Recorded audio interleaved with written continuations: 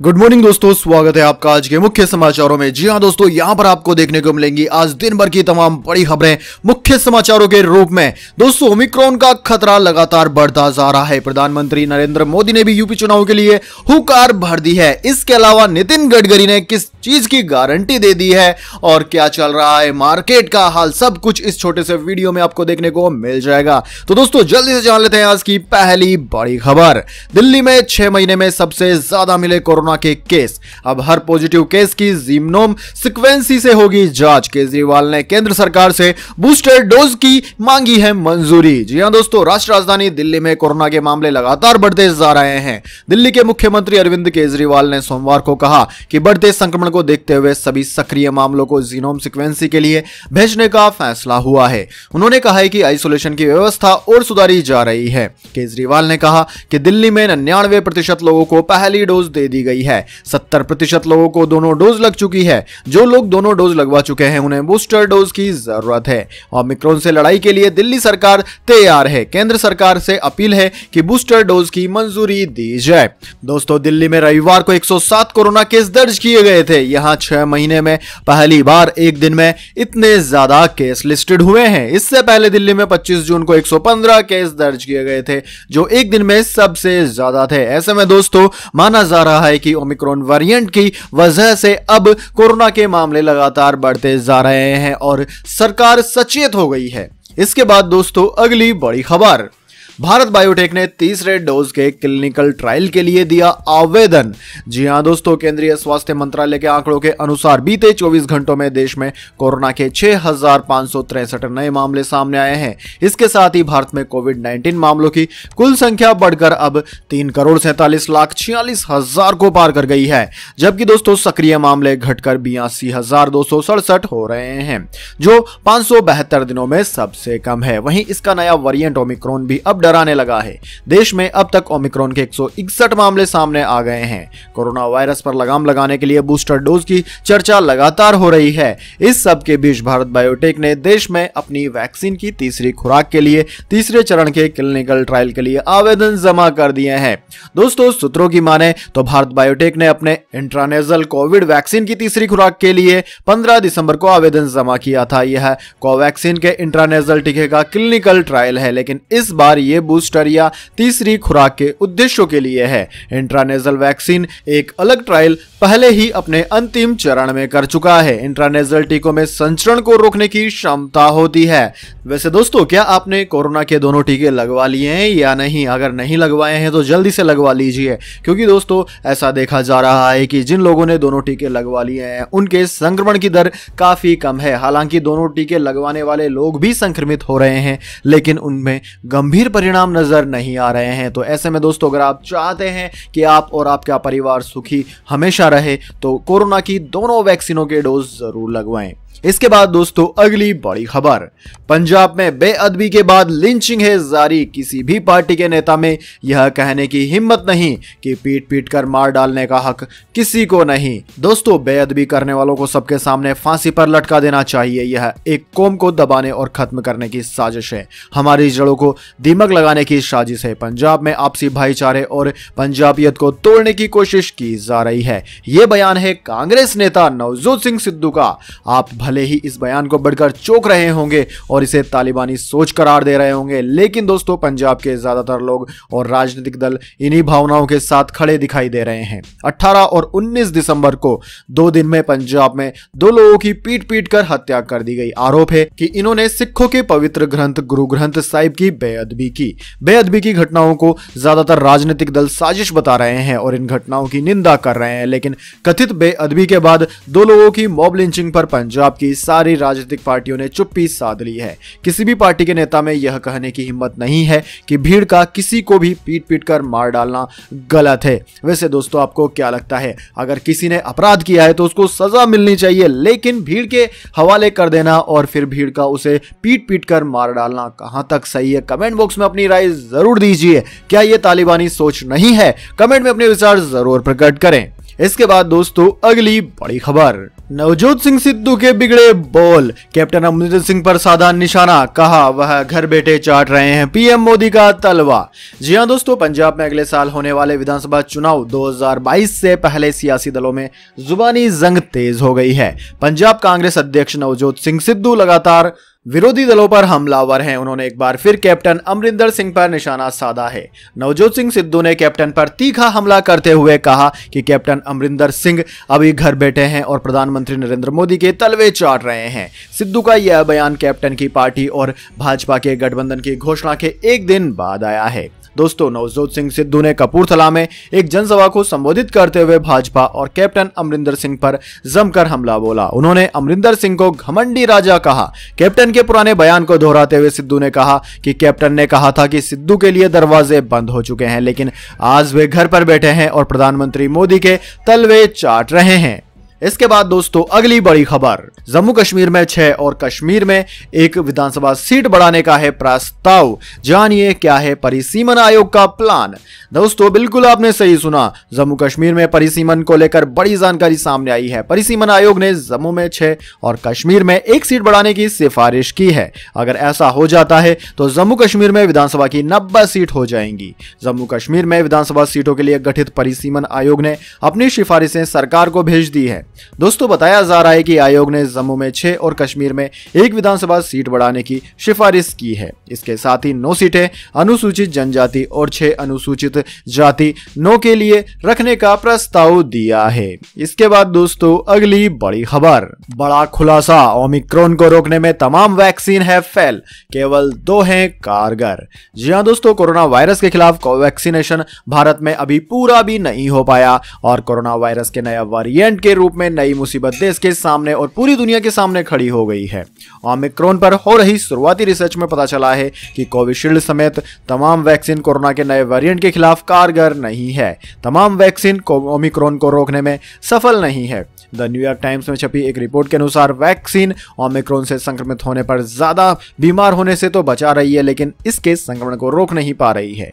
Research में केवल Pfizer और मोडर्ना वैक्सीन के बारे में अच्छी खबर मिली है। फाइजर और मोडर्ना वैक्सीन को बूस्टर शॉट से लगाने के बाद ओमिक्रोन को रोकने में शुरुआती तौर पर सफलता मिलती हुई दिखाई दे रही है। दोस्तों, शुरुआती जाँच में पता चला है कि एस्ट्राजेनिका, जॉनसन एंड जॉनसन समेत चीन और रूस में निर्मित वैक्सीन भी ओमिक्रोन को रोकने में सक्षम नहीं है। मुसीबत यह है कि अभी दुनिया भर में बड़ी संख्या में अभी लोगों को वैक्सीन नहीं लगी है। ऐसे में संक्रमण के मामले तेज़ी से बढ़ना कमज़ोर इम्यूनिटी वालों के लिए बड़ा खतरा है। टीकाकरण पूरा न होने की वजह से और नए वेरिएंट पैदा होने का खतरा भी है। इसके बाद दोस्तों, अगली बड़ी खबर। श्रीलंकाई क्रिकेटर्स को बोर्ड का आया फरमान। योयो टेस्ट में आठ मिनट में दो किलोमीटर दौड़ लगानी होगी। ऐसा नहीं कर पाए तो सैलरी कटेगी। जी हाँ दोस्तों, आपने बिल्कुल सही सुना। भारत के बाद अब श्रीलंका में भी यो यो टेस्ट होगा। श्रीलंका बोर्ड अपने खिलाड़ियों के फिटनेस को लेकर बहुत ज़्यादा सख्त होता दिखाई दे रहा है। नई गाइडलाइन के अनुसार अगर कोई खिलाड़ी यो यो टेस्ट के दौरान दो किलोमीटर दौड़ने के लिए आठ मिनट से अधिक समय लेता है तो उसका टीम में चयन नहीं होगा। वहीं अगर खिलाड़ी आठ से आठ मिनट के बीच दो किलोमीटर की दौड़ पूरी करता है तो उसकी सैलरी कटेगी। हालाँकि इन खिलाड़ियों का टीम में चयन हो सकता है। श्रीलंका क्रिकेट बोर्ड ने योयो टेस्ट का भी यही पैमाना बनाया है। योयो टेस्ट में श्रीलंका के खिलाड़ियों को दो किलोमीटर की रेस में भाग लेना होगा। पहला फिटनेस टेस्ट सात जनवरी को होगा, जिसमें सभी खिलाड़ियों को हिस्सा लेना होगा। इसके अलावा महीने में कभी भी खिलाड़ियों की टेस्टिंग हो सकती है। इससे पहले यह नियम भारत में अपनाया जा चुका है, जिसमें कई सीनियर खिलाड़ी इसके शिकार भी बने थे और इसकी काफ़ी आलोचनाएँ भी हुई थी। हालाँकि भारतीय कप्तान विराट कोहली को योयो टेस्ट बेहद पसंद है। इसके बाद दोस्तों, अगली बड़ी खबर। नितिन गडकरी ने कहा, मेरा वचन पत्थर की है लकीर। पाँच सालों में अमेरिका जैसी होंगी, उत्तर प्रदेश की सड़कें। जी हाँ दोस्तों, केंद्रीय सड़क परिवहन एवं राजमार्ग मंत्री, union minister of road transport and highways, Nitin Gadkari ने सोमवार को लोगों से आने वाले विधानसभा चुनाव में भाजपा की दोबारा सरकार बनाने का आह्वान करते हुए कहा कि पाँच साल के अंदर उत्तर प्रदेश की सड़कें अमेरिका जैसी हो जाएँगी। जौनपुर ज़िले के मछली शहर स्थित फौजदार इंटर कॉलेज में मुख्यमंत्री योगी आदित्यनाथ के साथ करीब 1500 करोड़ रुपए के प्रोजेक्ट का लोकार्पण और शिलान्यास उन्होंने किया। आयोजित जनसभा को संबोधित संबोधित करते हुए कटगरी ने राष्ट्रवाद, सुशासन और विकास को अपनी प्राथमिकता बताते हुए कहा कि मेरा वचन पत्थर की लकीर है। आने वाले पाँच सालों के अंदर उत्तर प्रदेश की सड़कें यूरोपियन स्टैंडर्ड की नहीं, बल्कि अमेरिका के बराबर बन जाएँगी। वैसे दोस्तों, इस बारे में आप कितने आशंकित हैं? कमेंट बॉक्स में ज़रूर बताइए क्या भारत की सड़कें अमेरिका के लेवल की बन सकती है। चलिए जान लेते हैं इसके बाद अगली बड़ी खबर। पाकिस्तानी बोट में मिली 77 किलो हेरोइन 400 करोड़ की है कीमत, छह तस्कर कर लिए गए गिरफ़्तार। जी हाँ दोस्तों, गुजरात के डीजीपी आशीष भाटिया के मुताबिक गुजरात एटीएस और कोस्ट गार्ड ने मिलकर एक बड़े ऑपरेशन को अंजाम दिया। संयुक्त टीमों ने 77 किलो हेरोइन जब्त की। वहीं छह क्रू मेंबर पकड़े गए। ये crew member Pakistani boat Al Hussaini पर सवार थे और कराची के रहने वाले हैं। डीजीपी ने कहा कि इनके खिलाफ मामला दर्ज करके कार्यवाही की जा रही है। ये लोग इस हेरोइन को बेचने की प्लानिंग कर रहे थे।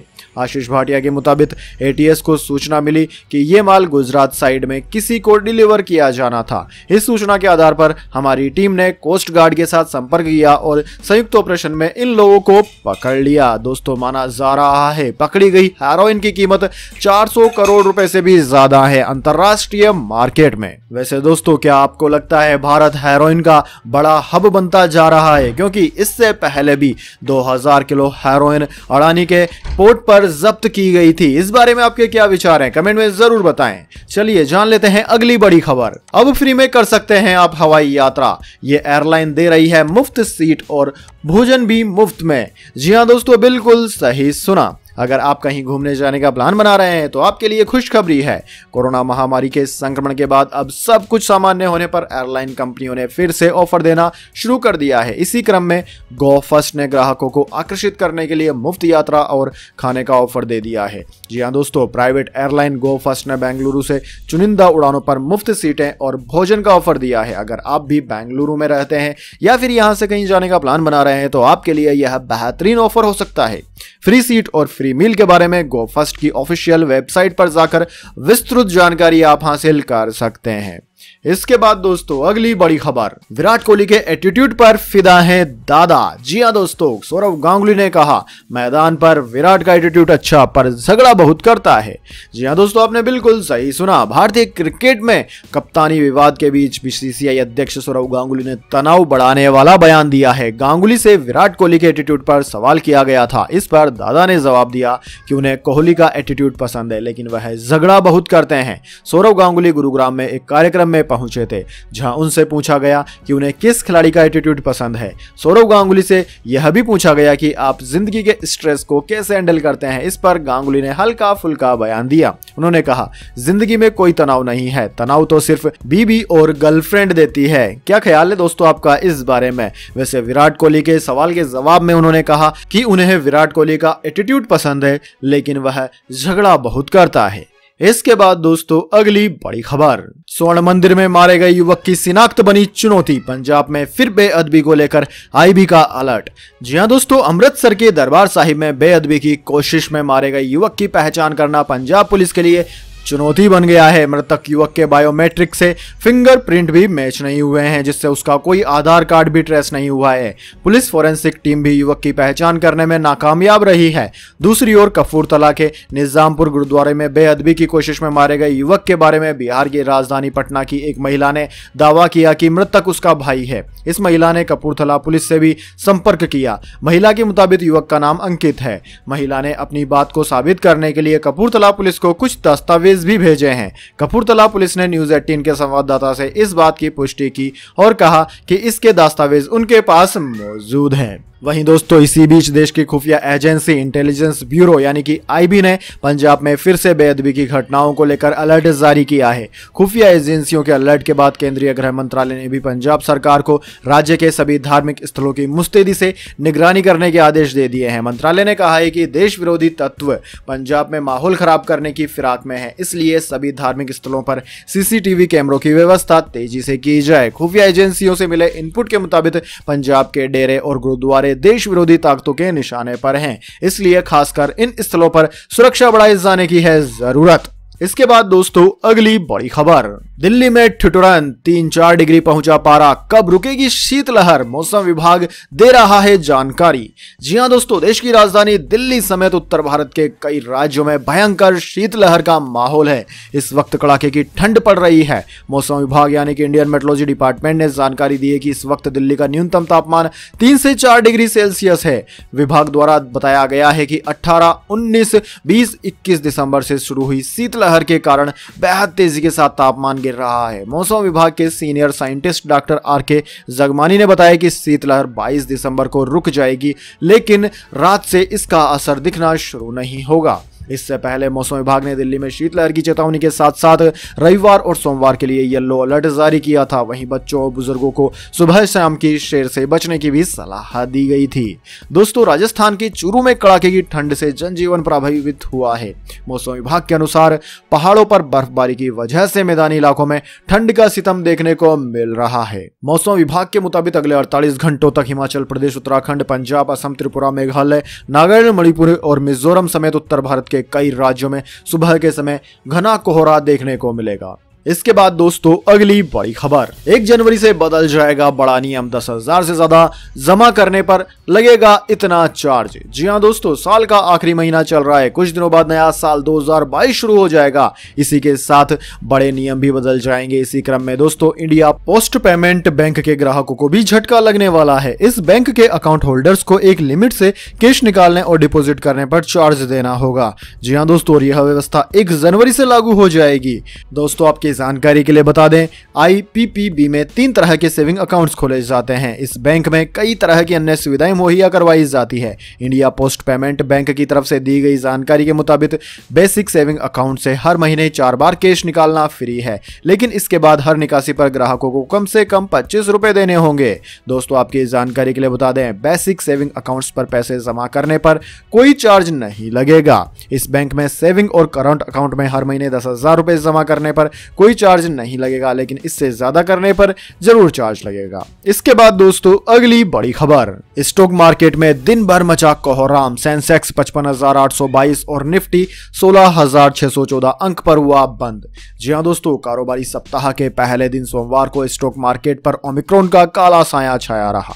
बाज़ार में बड़ी गिरावट देखने को मिली। नेशनल स्टॉक एक्सचेंज पर सूचीबद्ध 50 प्रमुख शेयरों का सूचकांक निफ्टी तीन सौ इकहत्तर अंक गिरकर सोलह के स्तर पर बंद हुआ। मुंबई शेयर बाज़ार संवेदी सूचकांक बी एस सी सेंसेक्स ग्यारह नवासी पॉइंट तिहत्तर अंक गिरकर पचपन हज़ार आठ सौ बाईस पर बंद हुआ। दोपहर बाद बाज़ार में मामूली करेक्शन देखने को मिला। स्टॉक मार्केट में निवेशक पर ओमिक्रोन की दहशत साफ़ देखने को मिली। बाज़ार खुलते ही बाज़ार में बिकवाली का दौर शुरू हो गया। सुबह निफ्टी 16,824 के लाल निशान पर खुला। बाज़ार खुलते ही धड़ाम से गिरने लगा। चारों तरफ़ हाय तोबासी देखने को मिली। दोपहर होते होते निफ्टी में एक बजे सबसे निचले स्तर 16,425 पर गोते लगाने लगा। हालाँकि एक बजे के बाद थोड़ा करेक्शन देखने को मिला। थकी चाल से बाज़ार ने कुछ ऊपर का रुख किया और निफ्टी सोलह के स्तर पर बंद हुआ। इसके बाद दोस्तों, अगली बड़ी खबर। राज्यसभा में जया बच्चन का बीजेपी पर हमला, कहा, आप लोगों के बुरे दिन बहुत जल्द आने वाले हैं। जी हाँ दोस्तों, राज्यसभा में समाजवादी पार्टी की सांसद जया बच्चन सत्तारूढ़ बीजेपी पर जमकर बरसी। उन्होंने कहा कि आप लोगों के बुरे दिन बहुत जल्द आने वाले हैं। खासी नाराज़ दिख रही जया बच्चन ने कहा कि मुझ पर निजी हमला किया गया। मैं आपको श्राप देती हूँ कि आप लोगों के बुरे दिन आएँगे। आप गला ही घोट दीजिए। हम लोगों का, आप लोग चलाइए। क्या कह रहे हैं आप लोग? जया बच्चन ने विपक्षी दलों के नेताओं से कहा कि आप बिन किसके आगे बजा रहे हैं। इस वजह से हंगामा और तेज हो गया। लिहाजा पीठासीन अध्यक्ष भुवेश्वर कलिना ने सदन की कार्यवाही पाँच बजे तक के लिए स्थगित कर दी। दोस्तों, आपकी जानकारी के लिए बता दें, विपक्षी दल केंद्रीय गृह राज्य मंत्री अजय मिश्रा के इस्तीफे और बारह सांसदों के निलंबन की वापसी की मांग कर रहे हैं। इसी वजह से सदन में लगातार हंगामे हो रहे हैं। सदन के शीतकालीन सत्र के पहले ही दिन राज्यसभा में कांग्रेस और तृणमूल कांग्रेस सहित अन्य विपक्षी दलों के बारह सांसदों को मानसून सत्र के दौरान अशोभनीय आचरण करने के कारण इस सत्र की शेष अवधि के लिए उच्च सदन से निलंबित कर दिया था। इसके बाद दोस्तों, अगली बड़ी खबर। भारत की ताकत से बौखलाया ड्रैगन ने की सेना के कंप्यूटर हैक करने की कोशिश। इंटेलिजेंस ब्यूरो का बड़ा खुलासा। जी हाँ दोस्तों आईबी की साइबर थ्रेड इंटेलिजेंस की रिपोर्ट से खुलासा हुआ है कि चीन, पाकिस्तान और नॉर्थ कोरिया के साइबर हैकर्स भारत के न्यूक्लियर और डिफेंस प्रोडक्शन से जुड़े कंप्यूटर हैक करने की फिराक में है। इस साल एक अक्टूबर से लेकर इकतीस अक्टूबर के बीच देश के महत्वपूर्ण इंस्टॉलेशन से जुड़े हुए कंप्यूटर को हैक करने की साजिश का खुलासा खुफिया विभाग ने केंद्र सरकार और राज्यों को भेजी अपनी रिपोर्ट में किया।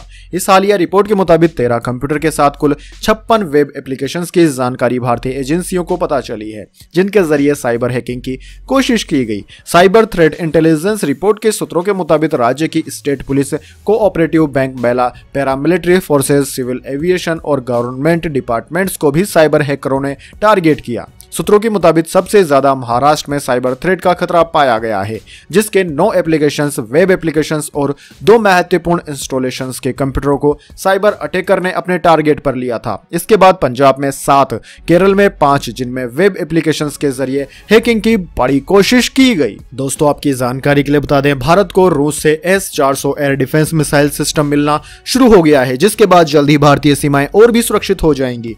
रूस से भारत को मिलने वाली एस चार डिफेंस मिसाइल सिस्टम से चीन परेशान है और लगातार भारत की रक्षा तैयारियों की जानकारी हासिल करने के लिए जुटा हुआ है। तो दोस्तों, यह थी आज की तमाम बड़ी खबरें। इसके बाद में अब जान लेते हैं क्या है आज का माइंड क्यूज क्वेश्चन। जी हाँ दोस्तों, एक आसान से सवाल का जवाब देकर आप जीत सकते हैं एक सरप्राइज़ गिफ्ट।